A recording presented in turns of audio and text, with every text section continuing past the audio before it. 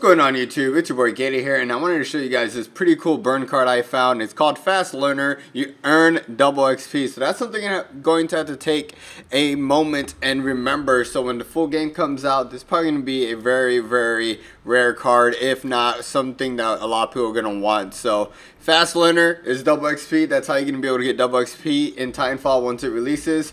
And hopefully it will be accessible once the game comes out. And it's something that it's kind of a rare item. I wouldn't want this to be seen a lot of times. So we'll see how that goes. And if you notice, it's number 43 seems like each card has its own like little number in the bottom left hand corner.